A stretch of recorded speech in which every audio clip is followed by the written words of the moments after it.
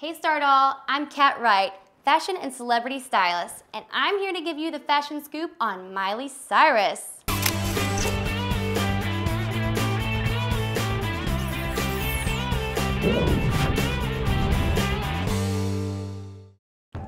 Now, most of us saw Miley when she was just a kid and came into the scene on Hannah Montana. But as she's grown up, so has her style evolved.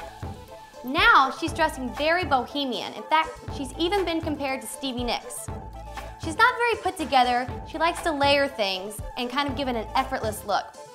She wears a lot of cutoffs and boots are her number one thing.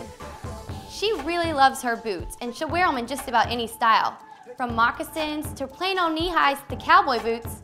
Maybe it's her Nashville upbringing. She also loves layers. From shrugs to kimonos, she'll do just about anything. Another thing that's key to Miley's style are accessories. She loves jewelry. You'll often see her wearing a big statement necklace, maybe in a coral or turquoise, inspired by the Native Americans. Also, bangles. She just piles on bangles. Do you remember the Grammys when she had an armful of them?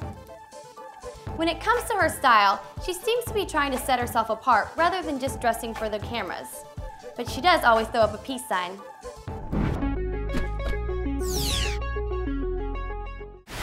Now I'm going to tell you how to get Miley style in your own closet. First, grab your favorite pair of denim cutoffs. If you don't have any, you can always cut off a pair of jeans that you don't like so much. Then, add a t-shirt or lightweight blouse, and of course, your favorite boots. Next, add a kimono or a cardigan. If it's knee length, it's even better.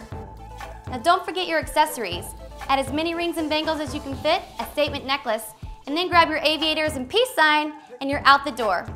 Be sure and check out our other videos for your fashion insight on your favorite fashionistas.